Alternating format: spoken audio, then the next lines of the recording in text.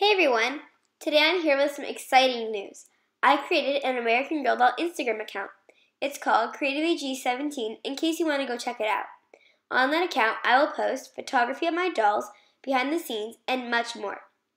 Also, if we could reach 60 subscribers by the end of the month, that would be awesome. If you're still watching, comment. I feel like I'm going to fly. Love you guys. Star.